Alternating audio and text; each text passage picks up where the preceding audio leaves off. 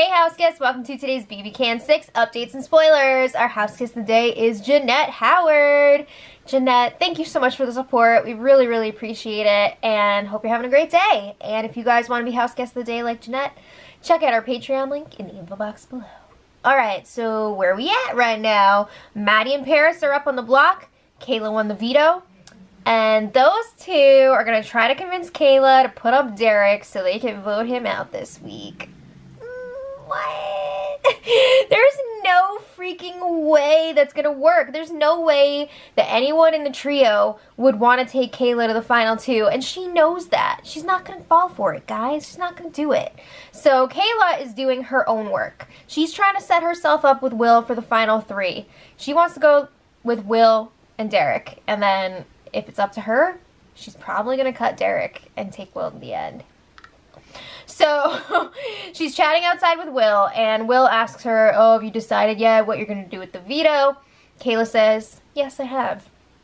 I'm not going to use it. So she wants to keep nominations the same, just getting it done. Um, so they both say like, oh, I really want to make the final three, and it would be so cool because we're both from the East Coast.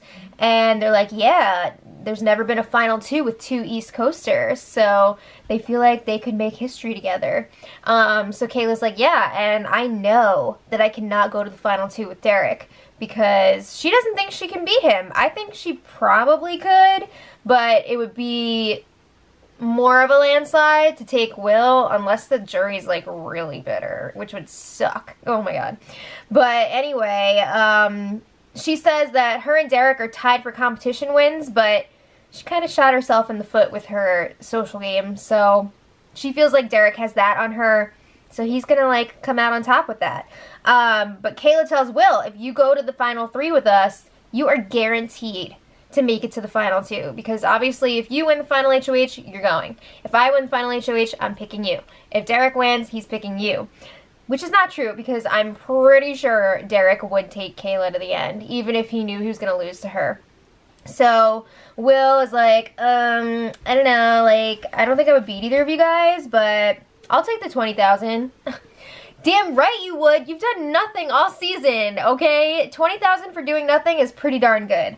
So Kaela's like, yeah, we can make this happen as long as Paras does not win the next HOH because next HOH is going directly to the final three. And they can't go to the final three together if Paras is in the final three. So she's like, either you or Derek need to win this next HOH.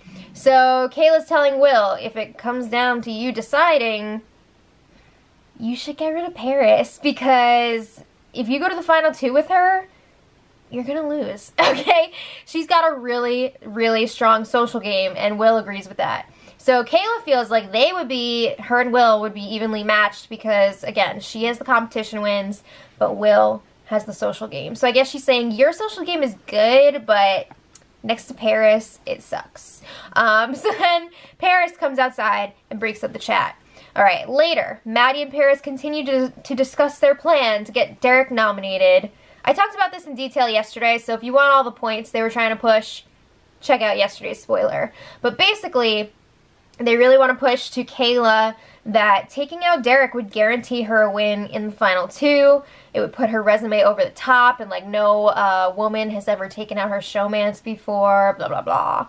Uh, but they're also trying to make Kaela worry that Derek will try to cut her next week before the final three because they're like, oh yeah, if Derek gets rid of you, he can just steamroll to the end. You do that with Kaela too right? Because they're going to go together. Um, so they're like, beat him to the punch. It's going to be great. Don't let him take you out. So they're planning on Maddie talking to Kaela first. And she says it should only be like a 15 minute conversation. Just boom, boom, boom, give her all the points. And she'll be like, hmm. And then Paras will swoop in to reinforce it. So then Paras is talking to the cameras alone and she's like, ooh, I feel really good about about this plan. Now that I have Maddie laying the groundwork with Kaela, it's perfect because if Derek finds out about it and gets pissed, I can just say that it was Maddie's plan all along. No blood on my hands.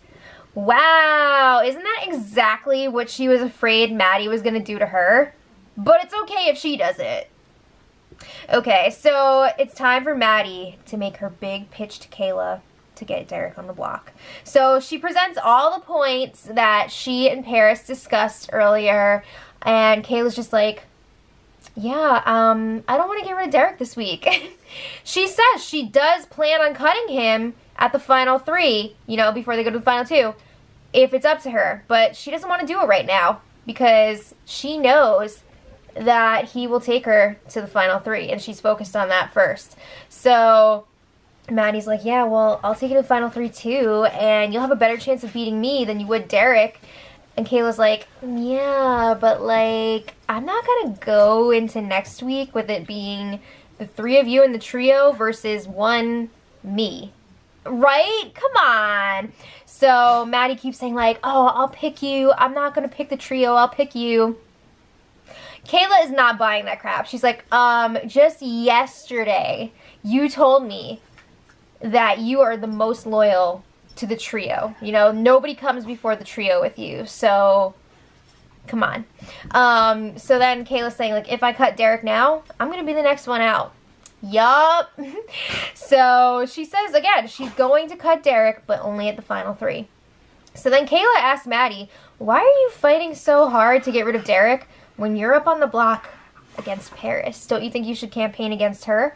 And why would I believe that you're going to pick me when you're fighting so hard for me to get rid of my own ally and your trio can stay intact? Bingo! So then Maddie's like, okay, um, what can I say about Paras? Um, she does campaign a little bit. She's like, all I can say is that Paras will beat like everybody in the final two, except for maybe Derek. So you're more likely to win against me that's it. She doesn't do like this whole big spiel about Paras. But eventually, Kaela says straight up, she is not putting Derek up this week. Just so we're 100% clear. But maybe she can be convinced to put up Will. So this conversation went on way longer than 15 minutes, okay? It was like at least an hour and a half to possibly two hours. I don't know. So Maddie reports back to Paras. She's like, all right, um, Kaela's not going to put up Derek. and she also asked me to make a pitch against you. So I just said like stuff about the jury votes and how you're going to beat everybody. So Paras is quietly pissed. She's acting all confused. She's like, why did that take so long? That was supposed to be a 15 minute conversation and it was two hours long. What else did you guys talk about? What did you fill that time with? So Maddie's like, well, we just went through all the scenarios and we went really in depth, so it took a long time. But Paras doesn't seem convinced. She keeps asking, why did it take two hours? What did you talk about? It was two hours, which is like the new, I stuck my neck out for you four times. so she's like, I just don't want to get effed with this. So then Paras chats with Kaela, and Kaela's asking her, what's up? You look really sad. What's going on? And Paras is like, you tell me. Two hour talk?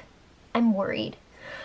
Oh my god. So then Kaela's telling her, don't worry about it. You know, we're going to the final four with Will and Derek. It's going to be great. We were just talking about, like, everything. So you have nothing to worry about.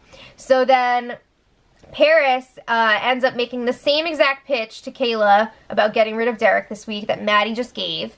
And Kaela's like, no, I don't want to be alone with the trio next week. It doesn't make sense for me. So just like Maddie, Paras is trying to convince Kaela that the trio won't take each other to the end.